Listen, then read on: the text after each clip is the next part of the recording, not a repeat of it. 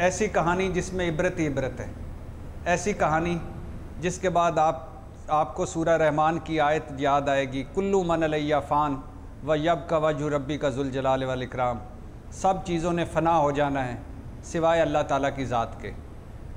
एक ऐसा शख्स जो झंग में पैदा हुआ ज़िम्मेदार घराने से जिसका ताल्लक, कमाल की पुरकश शख्सियत, एचिसन कॉलेज से तालीम हासिल की ऑल राउंडर फ़नकार।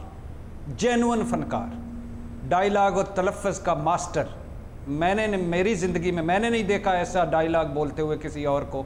बहुत सारे होंगे हर आपके अपने फेवरेट होंगे आपकी अपनी लिस्ट में आपके अपने फ़नकार होंगे लेकिन मेरा मेरा वो फेवरेट डायलाग बोलने वाला है। अफजाल चिट्टा के नाम से मशहूर। मतलब सैयद अफजाल अहमद। अशफाक अहमद साहब के ड्रामे उच्चे बुर्ज लाहौर दे और कारवां सराय 18 साल नौजवान ने 50 साल जो बूढ़े का किरदार अदा किया, मुन्नू भाई के ड्रामा जजीरा और फिर इसके बाद चल सो चल।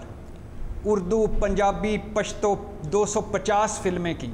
सैयद अफजाल अहमद साहब और कवि खान की जोड़ी बड़ी मशहूर हुई। उसके बाद तो फ़िल्मों की लाइन लग गई, शरीफ, बदमाश, वैशी जट चन वरियाम मिलेगा जुल्म दा बदला, इश्क नचावे गली गली।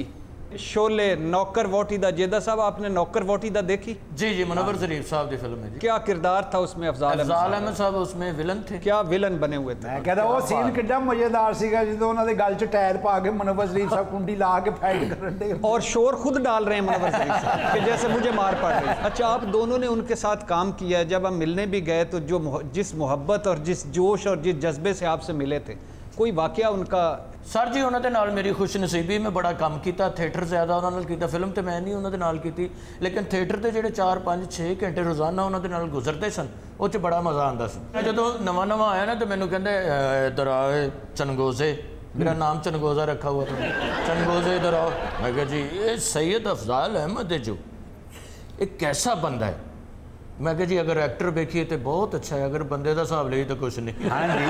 ਮੈਨੂੰ ਐਬਰ ਹੱਸ ਰਹੇ ਨੇ ਲਿਟ ਰਹੇ ਨੇ। ਮੈਨੂੰ ਐਬਰ ਨੂੰ ਸਟੂਡੀਓ ਇੱਕ ਵਾਰੀ ਮਿਲੇ ਐਂ ਜਾ ਰਹੇ ਸੀਗੇ ਇਕੱਲੇ ਮੈਂ ਇਧਰੋਂ ਜਾ ਰਿਹਾ ਸੀ ਤੇ ਮੈਨੂੰ ਕਹਿੰਦੇ ਓਏ ਗੱਲ ਸੁਣ ਕਾਕਾ। ਐ ਕਿਧਰੇ ਅਫਜ਼ਾਲ ਬੇਵਕੂਫ ਨੂੰ ਤਾਂ ਨਹੀਂ ਵੇਖਿਆ? ਮੈਂ ਕਿਹਾ ਜੀ ਉਸ ਪਾਗਲ ਨੂੰ ਤਾਂ ਮਾਫ਼ ਲੱਭਣ ਦੇ ਇਹ ਕਹਿ ਕੇ ਮੈਂ ਟੁਰ ਪਿਆ ਮੈਨੂੰ ਪਿੱਛੇ ਇੱਧਰ ਆ। हर मैंने हासा हाँ तमासील उन्होंने हाल बन थिएटर हाल बनाया और उस पर सारी जमा पूंजी लगा दी। जी।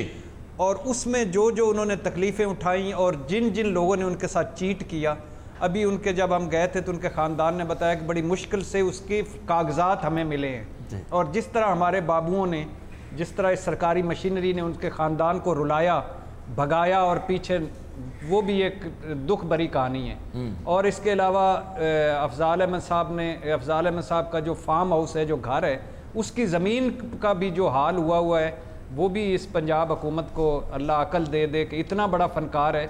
अगर उसके साथ धोखाबाजी और दो नंबरी हो सकती है तो किसी के साथ भी हो सकती है। पट्टी साहब आप तमासील का ज़िक्र कर रहे थे उनका जो स्टेज वाला हाल है पहला हाल लाहौर का जो रिवॉल्विंग स्टेज है जिसमें हाँ। आजकल के दौर में बड़ी लोगों ने कोशिश की वैसा स्टेज नहीं बना सकते। चार साल उनका स्टेज ड्रामा चला। जी जी। जन्म जन्म की महली चादर लुडन मियाँ कोई अफजाल अहमद साहब का उनकी आवाज़ और उनका मुकालमा तो हो नहीं सकता कोई आप अगर कोई एक चांप या एक चिकन रोस्ट अगर आपको तोहफा दिया जाए हाँ जी ऐसे चांपे ला दो खा लेगा ये ਉਹਨਾਂ ਦਾ ਕੋਈ ਨਾਨ ਨੂਨ ਖਾਦਾ ਹੋਵੇ ਤੇ ਸੁਣਾ ਮਾੜੀ ਮੋਟੀ ਓਏ ਪੱਟੀ मेहरबानी जनाब ਤੇਰੇ ਕੋਲ ਦੋ ਆਪਸ਼ਨਾਂ ਨੇ ਜਾਂ ਫਿਰ ਤੂੰ ਆਪਣਾ ਸਿਰ ਦੇ ਦੇ ਜਾਂ ਫਿਰ ਪੂਰੇ ਪਿੰਡ ਵਾਲਿਆਂ ਦਾ ਸਿਰ ਦੇ ਦੇ ਜਾਂ ਪੂਰੇ ਪਿੰਡ ਵਾਲਿਆਂ ਦਾ ਸਦਕਾ ਦੇ ਦੇ ਆਹੋ अफजाल अहमद साहब आजकल लाहौर में ही हैं अपने घर पे ही होते हैं यानी मुर्शद मुर्शद कहने वाले लोग जो उनके आगे पीछे फिरा करते थे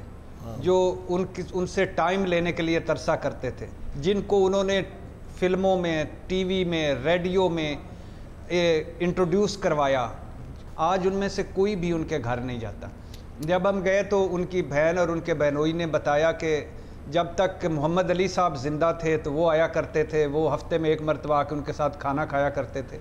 और फिर नदीम साहब जब कराची से लाहौर आते हैं तो वो आकर उनसे मिलते हैं और ज़रूर आते हैं उनके उनके पास ज़रूर आते हैं। अफजाल अहमद साहब पिछले 20 साल से व्हील चेयर पर हैं। व्हील चेयर पर भी।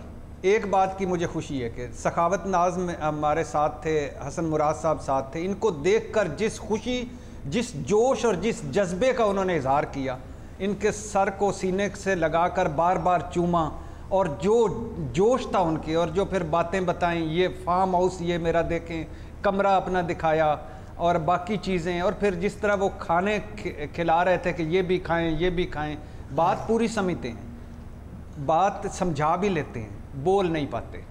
वही मैंने कहा है ना कि मुकालमे का बादशाह तलफ़ का बादशाह जब वो सेट पे बोलता था मुकालमे बोलता था तो बड़े बड़े अदाकार हिदायतकार फ़िल्म साज बड़े बड़े लोग सीखा करते थे।